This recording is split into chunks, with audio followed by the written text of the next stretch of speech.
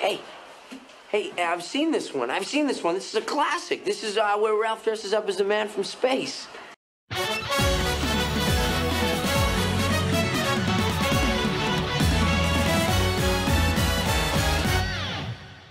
I want to emphasize that I fucking love Kamen Rider Gotchard and this episode too, even with some of its issues. I enjoyed this episode mainly because Spanner's quote unquote turn didn't end up as shallow as a lot of people thought it would be. It's not Spanner is trying to be the bad guy uh, to create a united front, which is dumb. And if you think about that and you say that that's the reason why he turned, it's fucking dumb and you shouldn't be fucking talking about the show. At the same time, I love that the show pretty much regurgitated the same thing that I said in last week's review with Spanner saying that now the public information about the chemis being out, humanity wouldn't change and humanity would just seek power, so his want to eradicate all the chemis still makes sense for him, which works like beautifully against Hotaro's, because here's the thing, Hotaro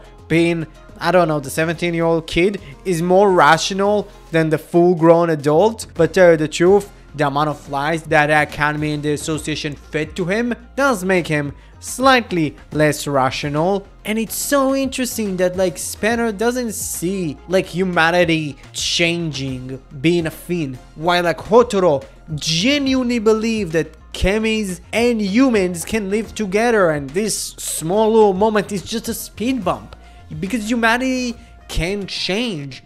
Like both of them want a future where everybody is happy, but the thing is, Spanner sees the worst in humanity. Because here's the thing, how many times Hotaro got really betrayed? Just saying.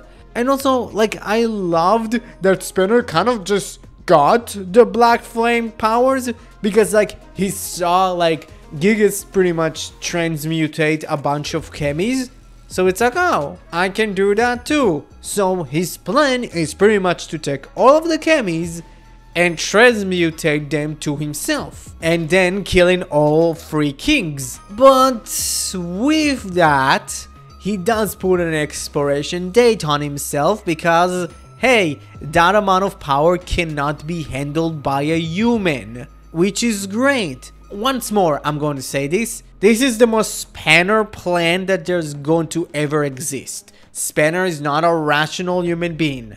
Spanner understand that, yeah, like this is the right way. It's eradicating both the evil of the three kings that want to destroy or control humanity, while like eradicating pretty much the thing that can cause the most misery to humanity. Which is like amazing because here's the thing, like he's very much the same person. He's still the same kid that watched his parents died in front of him. Like that is still a thing that is lingering in his head. His parents' sacrifice didn't matter, but his will, which is fucking great. Like I love that his thought is to sacrifice himself because he believes that in the end his parents didn't. Their sacrifice didn't amount to anything. It's just amazing why like at the same time watching Hotaro being so conflicted about Spanner's want was genuinely amazing because again it still handles Hotaro's pretty much being the main theme of the show being empathy. Like even after the restaurant pretty much got ran through by a bunch of fucking people that wanted the chemis, he's still like oh my god, like what the fuck am I going to do with Spanner? And at the same time kind of like trying to check if his mother is okay and like people are being so like upset that oh my god, like the mother isn't like totally upset that Hotaro is a fucking Kamen Rider. Like, come the fuck on. She totally knew that. Like, if you thought she wouldn't knew that, oh, she fucking knows. I'm sorry, I don't believe that Hopper 1 as a Kemi wouldn't just be jumping around that night to wake her up. Just saying. And bringing back Mr. Asashi to talk to Hotaro was great because it really feels like the show is trying to just straight up like straight up trying to talk to me only because as a person that really loved the Wrestler G like episode, bringing back all of the characters from the Wrestler G episode is just so nice.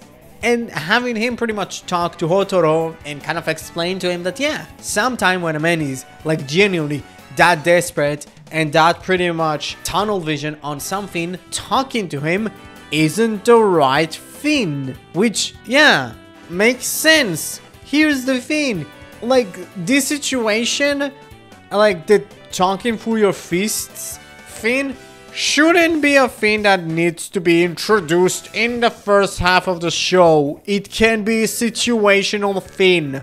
Like, why people are complaining about this? Like, genuinely. But, like, it makes sense. Like, Hotaro is not the type of person that will throw in the first punch. Okay, he, but if he needs to, he would.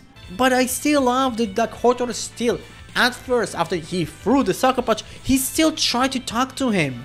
He's still trying to pretty much say, hey, come on. Like, you understand it's kind of a dumb idea. And Spanner pretty much saying, dude, you don't get this. We are on two completely different roads. Just, just stop. Like, and having that fight, ah, it was amazing.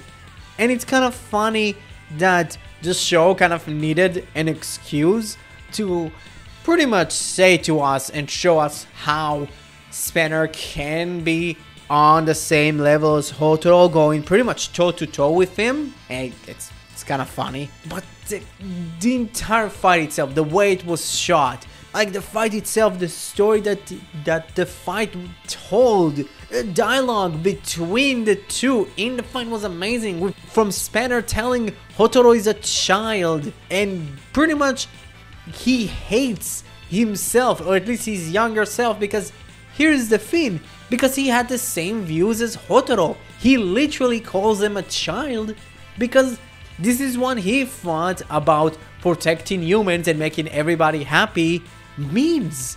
They literally have the same fucking viewpoints. The difference is, like, one suffered a great tragedy when he was young, while the other just didn't have a father, which could be just a normal ass human, or it could genuinely be like Fuga and like Rinne is his sister, but I tell you the truth, it doesn't really make a lot of sense. But hey, I don't fucking know. Even like admitting, like Spanner straight up admits, Hotaro, you're stronger.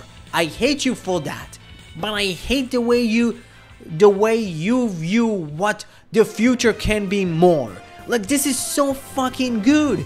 This is Spanner literally just trauma dumping on Hotaro while Hotaro is fucking listening and trauma dump himself, literally calling himself selfish. He literally calls himself selfish of wanting the best things for the people that he very much wants to protect. And it's so fucking good.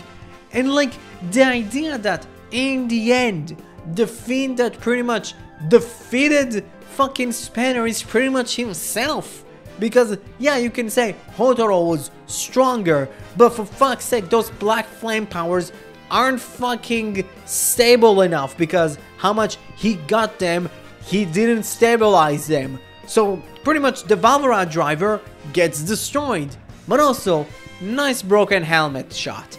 That was cool. And, like, in the end, the conflict doesn't really resolve itself. The conflict just kind of end on Spanner's ways. It's like, you know what? We are pretty much driving to the same path, but on different roads. We will never see eye to eye. Like, that's fucking great! Like, there is consequences to that fight. Like, first of all, the association has now less chemis because literally Spanner still holds them.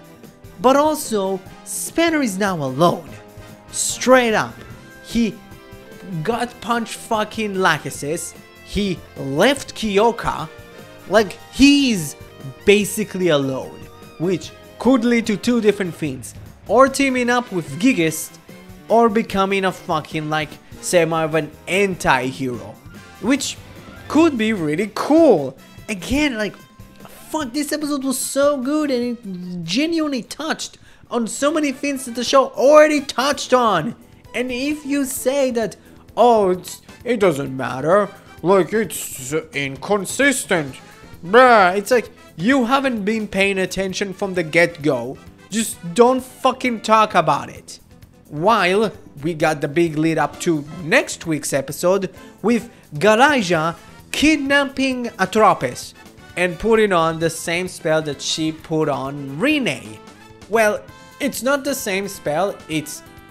Okay, it's literally the same spell. It's kind of like a two piece of a spell. It's pretty much Garaja wanting to use Atropos and her pretty much doll like being, but the problem is she's not strong enough. So, the first half of the spell would just drain all of Rinne's life energy and give it to Atropos. Because Atropos, as last week's episode told us, and now straight up, this episode told us, Rinne is the thing that Gurion modeled to create Atropos. Like, this episode was amazing. Like, my main issue with it, it just feels like it's too goddamn late to do it. Everything about this is way too late. I feel like we had like four to five episodes that we could have maybe pushed away from the show, aka the Legend Arc. This could have been like an amazing point in the show, kind of closer to the end, but not as close to pretty much we are pretty much a couple of weeks away from the show ending. This could have genuinely been S plus if it would have been any earlier than episode 47 out of 50. Just saying, just saying.